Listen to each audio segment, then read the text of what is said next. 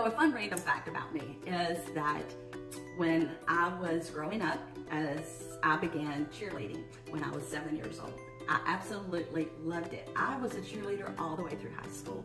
And um, it was something that I just, uh, I don't know, I, it was so much fun to me. I, I loved being a part of sports. I love football. I love basketball.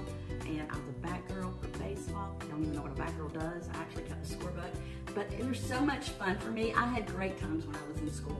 And um, so the question, can I still do any of the tricks that I did then? Probably not, other than I do remember some of the cheers that I did and some of the dances. Those were fun and I could do those, but I will not do those for you. Those are for my private home. but I, I do love it. And I think one of the things that I've taken from that as an adult is that I love to get in the trenches with people and I love to encourage people. And um, that is something about